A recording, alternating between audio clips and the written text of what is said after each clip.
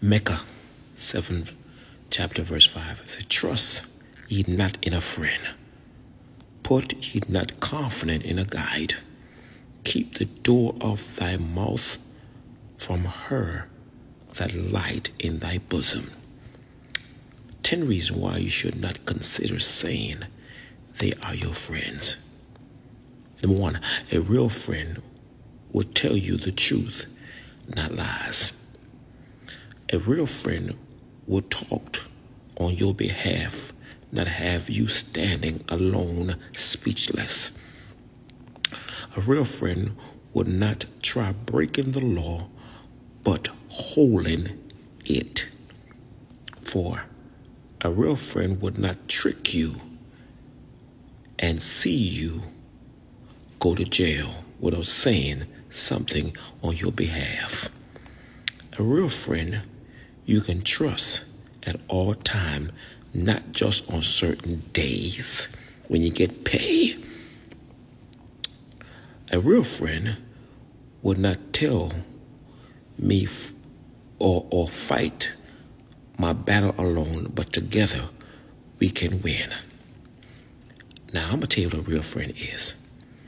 A real friend, closer, I call Jesus Christ. The closest friend I really have is available 24 7. While I'm asleep, he's available. While I'm up, he's available. Seeing things unseen and unseen, he's available. The closest friend I really have lie never busy, but always available to answer my requests. He might not come when I want him, but he always on time.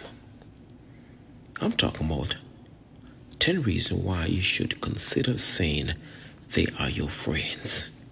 Because friends stick closer than a brother. Friends will always run away.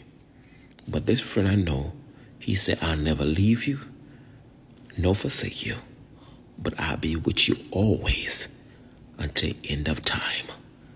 The best friend to have through thick and through thin is not human, but he's a spirit.